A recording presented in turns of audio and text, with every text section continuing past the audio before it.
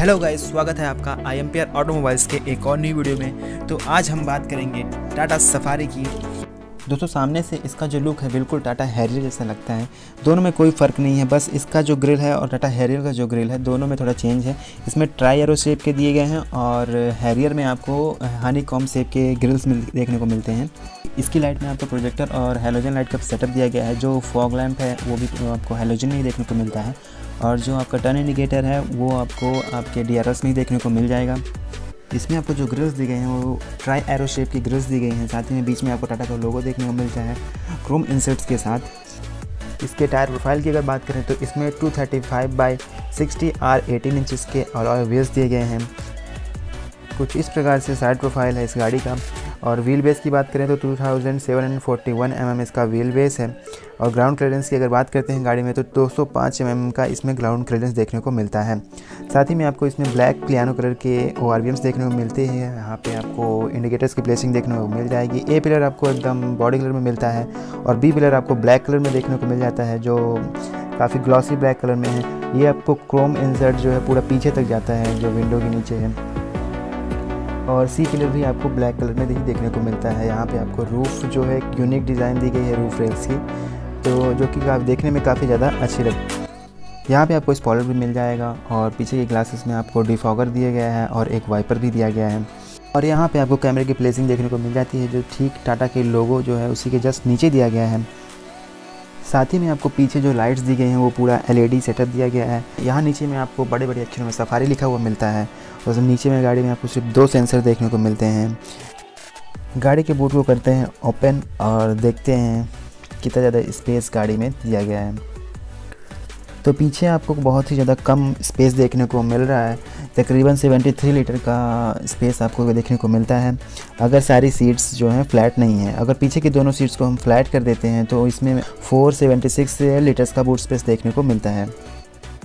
चलते हैं गाड़ी के रियर कंपार्टमेंट में और देखते हैं गाड़ी क्या क्या ऑफ़र कर रही है को पैसेंजर्स के लिए। तो डोर खोलते ही काफ़ी अच्छा और प्रीमियम सा फील आता है आपको। और यहाँ पे जो प्लास्टिक का यूज़ किया गया है, वो भी काफ़ी अच्छे मटेरियल का यूज़ किया गया है। यहाँ पे आपको क्रोम इंसर्ट्स डोर ओपनर मिल जाएगा और यहाँ पे पावर विंडो के कंट्रोल भी यहीं पे हैं। यहाँ पे आपको जे के स्पीकर्स दिए गए हैं और नीचे में आपको कुछ सामान रखने के लिए छोटे मोटे से स्पेस दिए गए हैं। लेग रूम की अगर बात करूँ तो गाड़ी का काफ़ी अच्छा स्पेस मिलता है इसमें गाड़ी में। आपको काफ़ी स्पेस वाइज तो गाड़ी काफ़ी ज़्यादा अच्छी है। यहाँ पे आपको एलईडी लाइट्स का सेटअप दिया गया है जो कि दोनों साइड्स में है। और गाड़ी के थर्ड रो की बात करें तो कुछ ऐसा दिखता है थर्ड रो स्पेस वाइज से गाड़ी काफ़ी